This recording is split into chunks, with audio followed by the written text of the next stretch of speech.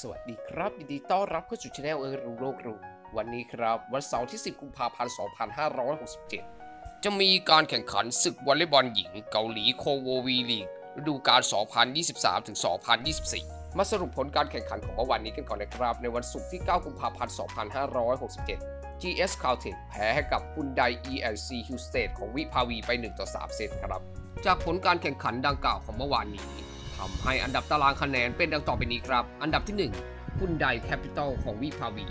แข่ง 27 นัด ชนะ 21 แพ้ 6 มี 65 คะแนน อันดับที่2 Pink Spider แข่ง 27 นัด ชนะ 21 แพ้ 6 มี 59 คะแนน อันดับที่ 3 GS Caltex แข่ง 27 นัด ชนะ 16 แพ้ 11 มี 45 คะแนน อันดับที่4 Red Sparks แข่งทั้งหมด 27 นัด ชนะ 13 แพ้ 14 มี 41 คะแนน อันดับที่ 5 IVK Antos ของพรพันธ์แข่งทั้งหมด 26 นัด ชนะ 12 แพ้ 14 มี 36 คะแนน อันดับที่ 6 Korea Expressway High Pass ของธนัชชาแข่งทั้งหมด 27 นัด ชนะ 9 แพ้ 18 มี 28 คะแนน อันดับที่ 7 อันดับสุดท้าย กวางจู Pepper Bank แข่ง 27 นัด ชนะ 2 แพ้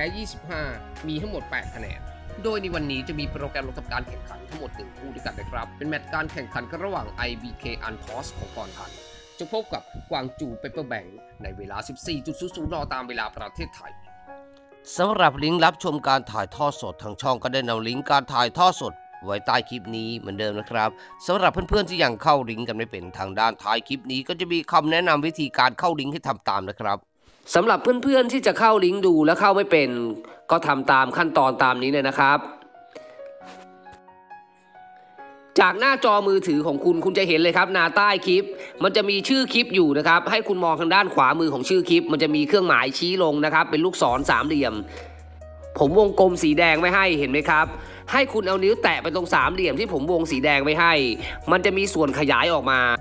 เห็นไหมครับ เมื่อเรากดไปแล้วเนี่ยส่วนขยายด้านล่างมันจะยาวขึ้น หัวข้อมันจะเขียนคำว่าคำอธิบาย